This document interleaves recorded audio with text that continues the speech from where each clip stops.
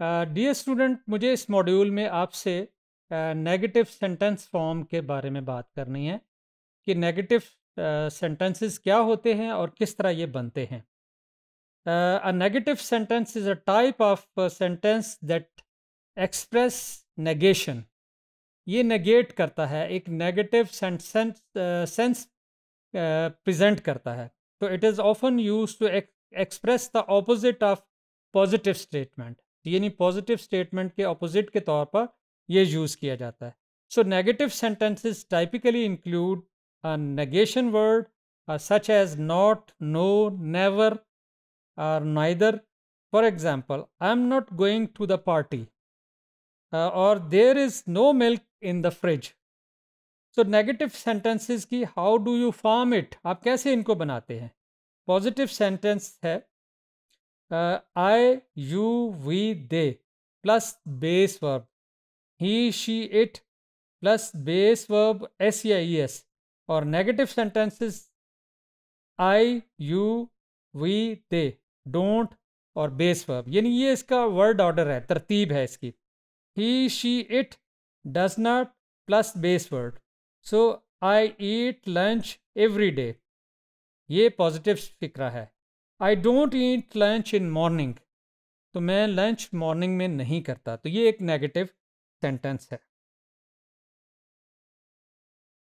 The placement of negating word or phrase within the sentence can affect the meaning and emphasis तो ये नहीं ये meanings uh, को effect कर सकती है और ज़ोर दे सकती है। For example I don't like chocolate emphasizes the dislike the chocolate. While I like chocolate, but not today. Emphasize the temporal aspect of the negation. यानी वक्त के साथ इसको रिलेट कर रही so favourite negative quotations uh, you will never succeed at anything if Next example इसकी if you can't say any question nice don't say anything at all winners never quit and quitters never win तो ये sentences की example थी negatives की. तो negative sentences in English usually use a helping verb don't यानी helping verb और plus not do या does ये प्रोनाउन के हिसाब से इसका यूज़ होगा। So don't go he didn't like the book I can I can't find my keys or Joe won't to listen to me any more तो यानी जो आपका सेंटेंस होगा, जो आपका, जो टेंस होगा, उसके लिहाज से आपका हेल्पिंग वर्ब यूज़ करेंगे। और उसके साथ आप नाट लगाएँगे पॉजिटिव सेंटेंस को नेगेटिव में चेंज करने के लिए।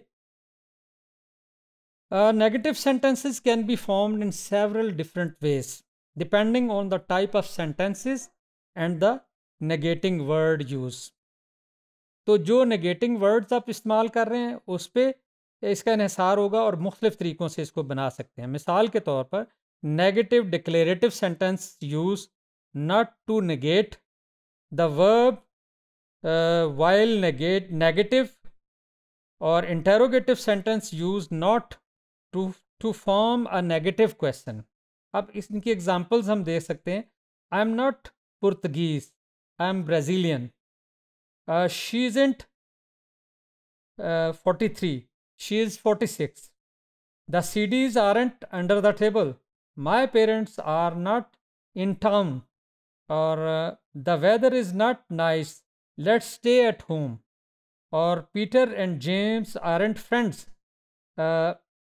she isn't at school she is on holiday तो ये इसकी एग्जाम्पल्स थी, जो भी मैंने आपको बताई। Negative sentences can be use to express variety of negative concept including denial prohibition lack and refusal यानी ये मुख्तलिफ़ जो है इसके कॉन्सेप्ट के उसको ज़ाहिर कर सकता है, इस्तेमाल करता है। मिसाल के तौर पर I can't go to party express lack of ability while don't touch the stove, express a prohibition, यानी उसमें रोका जा रहा है किसी काम को करने से। तो ये थे नेगेटिव सेंटेंसेस ये क्या, कौन से होते हैं और किस तरह इनको बनाया जाता है और क्या क्या सेंस ये कन्वे करते हैं। अब इसकी जो आगे हम इनकी अंडरस्टैंडिंग के हवाले से understanding the form of negative sentences is essential for the clear effective communication in English तो इन पर महारत हासिल करने के लिए, यानी इनके रूल्स को सीख के, हम structures and negation speakers and writers can convey negative concept in a clear and concise manner अब मिसाल फुल फॉर्म क्या हो सकती है और शॉर्ट फॉर्म उसकी क्या है? आई एम नॉट तो short form I am not he is not isn't और she is not she isn't यानी इधर फुल फॉर्म में बता रहा हूँ साथ उसकी शॉर्ट uh, फॉर्म बता रहा हूँ। तो it is not it is isn't और you are not you aren't और we are not we aren't तो ये इसकी डिफरेंट अंदाज से जो इसकी शॉर्ट फॉर्म भी और एक्सप्रेसिव फॉर्म भी और इसकी जो डिफरेंट उसकी जो सेंस है वो हम किस तरह बनाते हैं नेगेटिव फॉर्म सेंटेंसेस को और कौन कौन सी ये सेंस कन्वे करते हैं।